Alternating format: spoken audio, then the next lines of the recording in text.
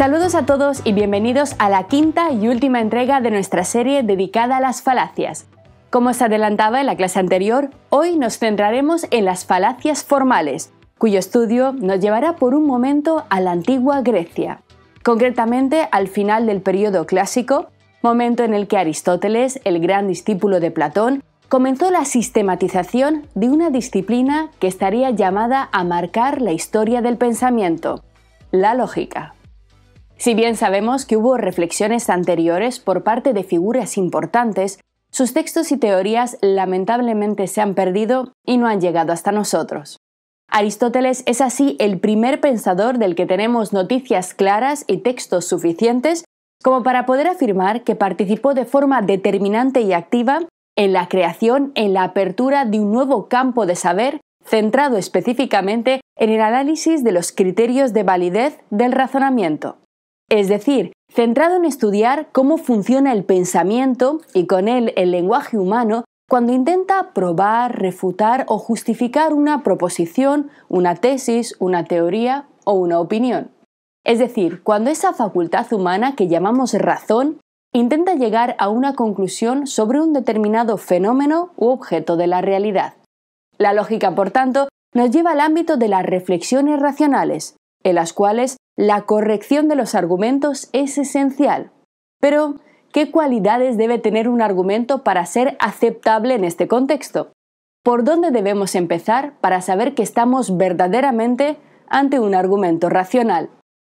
Aristóteles viene a echarnos una mano en esta cuestión al señalarnos que los dos rasgos mínimos que debe cumplir un argumento racional son la consistencia y la coherencia. Vamos a verlos más de cerca.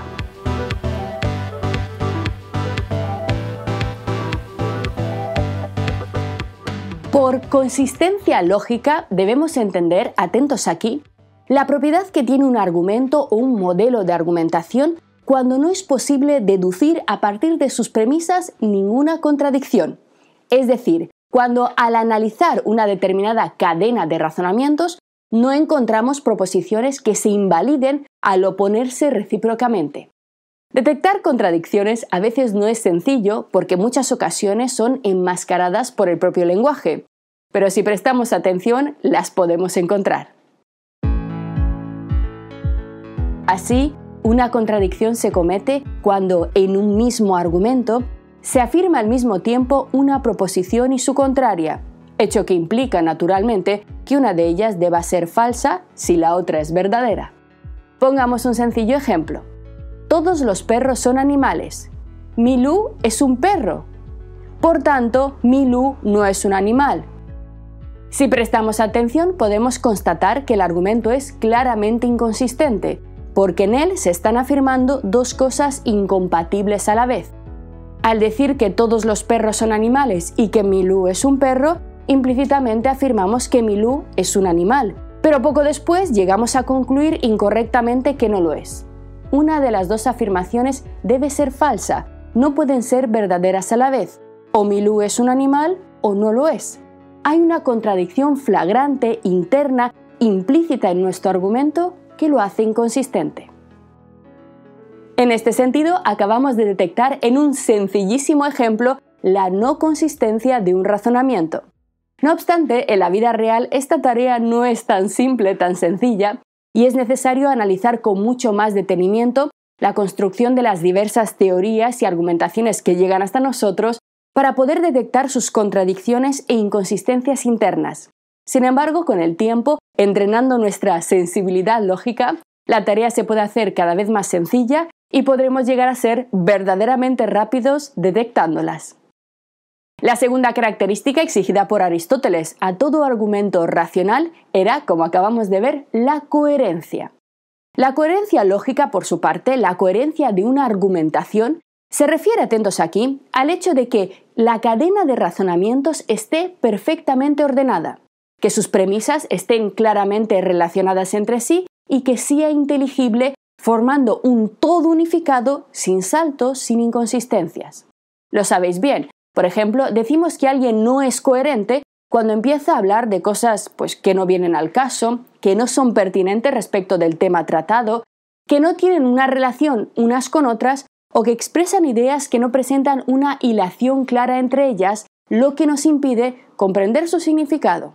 Por ejemplo, cuando alguien va a sufrir un ictus, es habitual que su habla, su lenguaje se vuelva incoherente, siendo por cierto ello una grave señal de alarma de que algo debe estar interfiriendo con el correcto funcionamiento de su razón. Sin embargo, sin llegar a esto, a tanto, muchas veces al estructurar nuestros discursos en la vida diaria, introducimos elementos totalmente incoherentes aunque no nos demos cuenta de ello. Y podemos llegar a afirmar cosas que se contradicen en puntos separados de la conversación o de nuestra redacción, por ejemplo, haciendo inconsistente nuestra posición. La lógica, por tanto, es la herramienta específica que la filosofía griega antigua comenzó a desarrollar con el fin concreto de detectar estos errores internos y señalarlos allí donde pueden comprometer la integridad de nuestras teorías, enseñándonos a construir cadenas de razonamiento consistentes. Un entrenamiento deficiente o nulo en este tipo de conocimientos puede hacer que seamos mucho más fácilmente engañados, persuadidos y manipulados por afirmaciones con apariencia de verdad, pero internamente insostenibles y lógicas.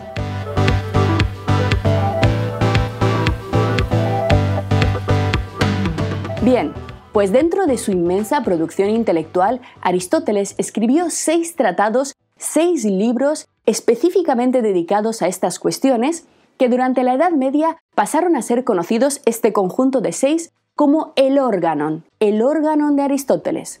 Pero, ¿por qué los medievales eligieron esta palabra? El término griego órganon significa literalmente instrumento o herramienta. Por tanto, estos seis libros de Aristóteles fueron llamados así porque en ellos se recogen las herramientas fundamentales para el pensamiento atentos y el razonamiento filosófico y científico. Pues sí, efectivamente, Aristóteles fue también el primero en enunciar las reglas básicas fundamentales de lo que siglos más tarde se convertiría en la ciencia moderna. Más concretamente, los estudios de Aristóteles establecieron las bases de la lógica formal, un campo que ha sido y que sigue siendo hoy en día fundamental para la filosofía, la ciencia, la tecnología y las matemáticas. Los seis tratados que componen el órgano de Aristóteles son los siguientes. En primer lugar, las categorías, donde se lleva a cabo una clasificación de términos y modos de predicación. Es un análisis muy denso y complejo de la estructura del lenguaje. El de interpretazione, en el que se estudia la relación entre lenguaje y lógica. En tercer lugar, los célebres analíticos primeros, que representan una introducción al silogismo, es decir, a la estructura de los argumentos deductivos. En cuarto lugar, los analíticos segundos, importantísima obra donde Aristóteles desarrolla sus reflexiones sobre la demostración científica y el conocimiento. En esta capital obra, Aristóteles introduce los conceptos de ciencia y demostración y argumenta que el conocimiento científico debe estar basado en premisas verdaderas, primarias, inmediatas, mejor conocidas que la conclusión y causas de la conclusión.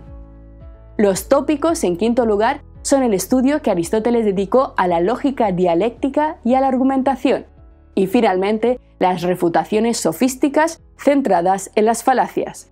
Gran parte del contenido de esta obra de las refutaciones sofísticas es lo que nosotros hemos estudiado en las cuatro clases anteriores de esta serie. Por todo este espectacular esfuerzo intelectual, la lógica de Aristóteles ha sido una de las producciones de la filosofía griega que ha tenido un impacto más duradero y significativo a lo largo de la historia de la cultura occidental, siendo evidente todavía hoy su influencia en ámbitos que os van a sorprender. Por supuesto, para la filosofía, la lógica aristotélica proporciona las bases para el pensamiento crítico y el razonamiento riguroso. Para las matemáticas, la lógica formal de Aristóteles influenció el desarrollo de la lógica simbólica y de la llamada lógica matemática, fundamentales en la teoría de conjuntos y en la teoría de la computación. El enfoque de Aristóteles en la demostración y la lógica deductiva se refleja también en los métodos científicos actuales, donde se busca siempre una base lógica demostrativa para las hipótesis y teorías. La lógica de predicados, desarrollada a partir de las ideas aristotélicas, es también crucial hoy en día para el diseño de algoritmos y para la programación. Asimismo, la lógica formal es una de las herramientas esenciales de la inteligencia artificial y del llamado aprendizaje automático, donde se utilizan métodos lógicos de herencia aristotélica para el procesamiento de datos y la toma de decisiones. En el campo del derecho también, la lógica aristotélica sigue siendo hoy en día esencial para, por ejemplo, construir y evaluar argumentos legales, así como para la interpretación de textos jurídicos. La capacidad de estructurar argumentos lógicos es básica en la práctica del derecho, tanto en la redacción de los documentos legales como en la defensa de los casos ante un tribunal. Finalmente, la lógica aristotélica, como hemos podido comprobar a lo largo de todas estas clases, ilumina nuestra comprensión de las falacias y permite a las personas identificar y evitar errores en el razonamiento, lo cual es crucial en los debates y en las discusiones públicas, además de la toma de decisiones en nuestra propia vida. Y es aquí, en este punto, donde nos habíamos quedado. La importante filosofía de Aristóteles, por su parte, la seguiremos estudiando en nuestros cursos dedicados específicamente a su figura. Pero ahora, volvamos a las falacias formales. Como bien recordamos, las falacias formales eran errores lógicos que se producían debido a defectos en la estructura del argumento, independientemente del contenido de las premisas. Es decir, son errores que afectan al esquema básico según el cual hemos ordenado los elementos que componen un razonamiento, al esqueleto, a esas fórmulas fundamentales que lo estructuran y no tienen que ver con el contenido, con lo que dicen específicamente sus proposiciones.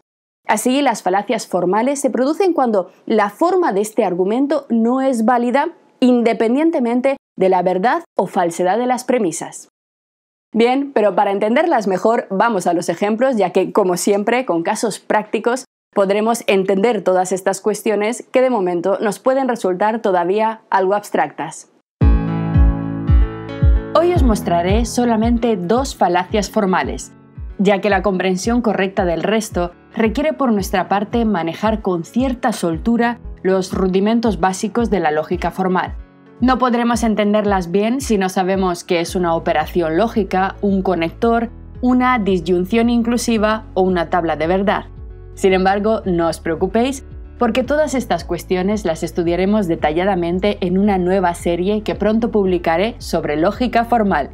Así que para poder comprender con claridad en esta clase qué son las falacias formales, tomaremos las dos más simples, que nos bastarán sin duda para comprender la esencia de esta cuestión, y dejaremos el análisis del resto a nuestro curso sobre lógica.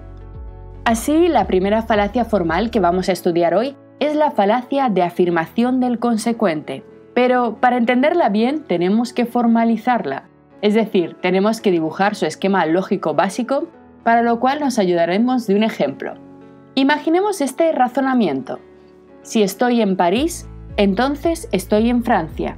Estoy en Francia, luego estoy en París. si P, entonces Q.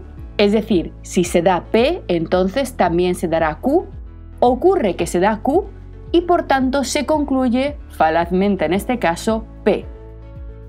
En la estructura de este esquema, el término P es el antecedente de la implicación, o lo que es lo mismo, la condición inicial.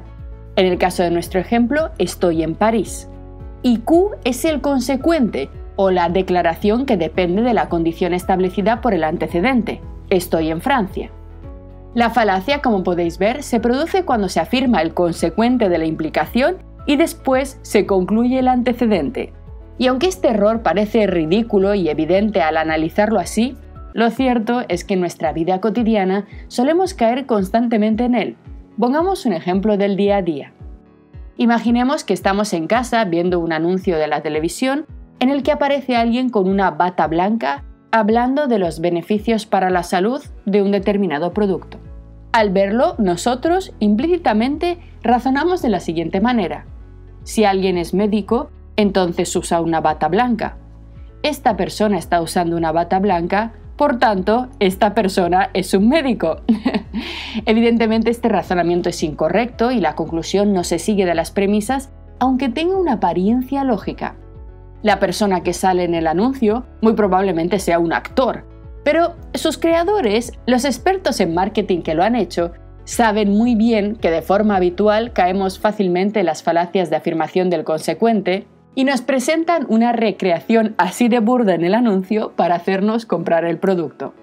Como os decía hace un momento, aunque usemos estos ejemplos para comprender mejor las falacias, estamos en realidad ante errores que afectan a la estructura de los argumentos. Es decir, en realidad no importa qué dicen exactamente las frases que lo componen. Da igual lo que digan, si la estructura lógica es incorrecta, el argumento será inválido. Probemos con otros ejemplos con la misma estructura. Si un avión está volando bajo, entonces escucho un motor fuerte. Estoy escuchando un motor fuerte, por lo tanto, un avión está volando bajo. Incorrecto. Si llueve, la calle está mojada. La calle está mojada, por tanto, llueve. Incorrecto también porque ambos repiten la estructura formal inválida de la falacia de afirmación del consecuente.